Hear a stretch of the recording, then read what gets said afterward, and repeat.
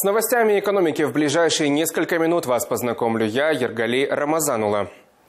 Новое жилье дорожает, а вторичное дешевеет. Это следует из свежих данных Бюро нацстатистики. За прошедший год дома и квартиры в новых домах выросли в цене почти на 3,5%. Что касается вторичного рынка, там жилье стало дешевле на 3,7%.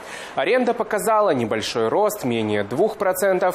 В декабре казахстанцы активно обзаводились собственными квадратными метрами. По сравнению с ноябрем показатели увеличились почти почти на 20%.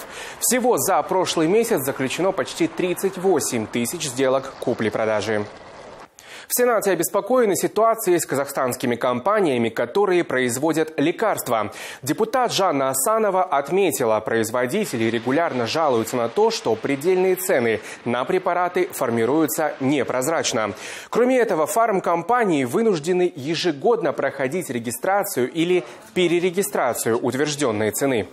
В результате создалась ситуация, когда производители, несмотря на то, что их устраивают предельные цены прошлых годов, вынуждены ежегодно проходить процедуру перерегистрации цены а, со всеми вытекающими сложностями в виде сбора всех требуемых документов, потери времени, бюрократической волокиты, финансов и так далее.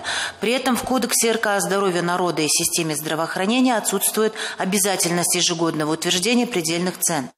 Коротко о происходящем за пределами страны. Рекордное повышение цен в Аргентине вынуждает местных жителей отказываться от мяса. Виной всему инфляция в 200%. Это один из самых тревожных показателей в мире. Зарплаты и пенсии не успевают за таким быстрым удорожанием. Люди не могут закрыть базовые потребности. Простые аргентинцы больше не зовут друг друга в гости. Традиционное для этого сезона барбекю пока отложили до лучших времен. А пока более 40% населения страны живет за чертой бедности. И это только официальная статистика. Раньше посиделки с друзьями и родственниками за барбекю доставляли мне колоссальное удовольствие, но сейчас это просто невозможно. Каждый день тяжкий выбор между мясом и овощами. Прокормить семью из шестерых людей непросто. Мы исключили все те продукты, которые делали нашу жизнь чуточку ярче. Я уже стара, и мне жаль, что я, скорее всего, уже не увижу свою страну в рассвете. Ну и напоследок вернемся в Казахстан, а точнее в пункты обмена валют. Средний курс доллара на сегодня составляет 456 тенге, плюс-минус 50 тиен. Евро слегка перешел отметку в 500, а что касается российского рубля, то его можно приобрести в среднем за 5 тенге 15 тиен.